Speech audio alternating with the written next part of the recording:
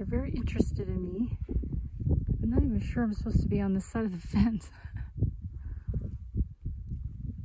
Maybe they think I have food.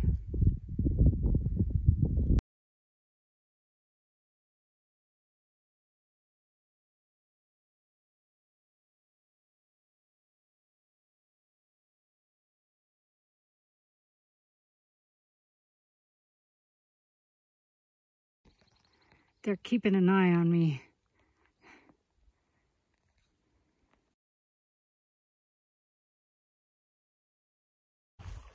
Well, this would have been 30 miles if I'd gotten here yesterday.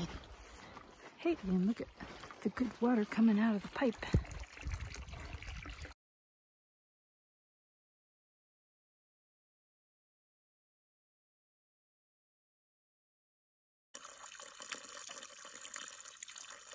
Thank God there's water.